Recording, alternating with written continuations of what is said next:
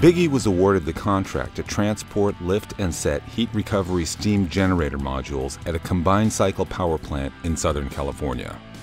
The plant will generate 450 megawatts of clean and reliable power, enough to light more than 400,000 homes and businesses throughout Orange County and the Los Angeles area. Utilizing an Enerpac hydraulic gantry system, Bigge transloaded each HRSG unit onto a Goldhofer 16-axle modular transporter. They were then carefully transported from an on-site staging area to the center of the plant. The lifts were performed by a Manitowoc MLC 650 crawler crane from Bigge's mobile crane fleet.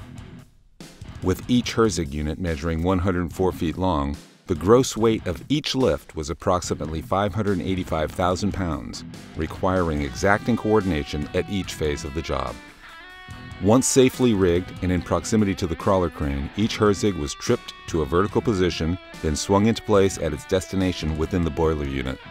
The Variable Position Counterweight, or VPC system on the MLC 650 was extended to its fullest to accommodate the weight and swing radius necessary to complete the task.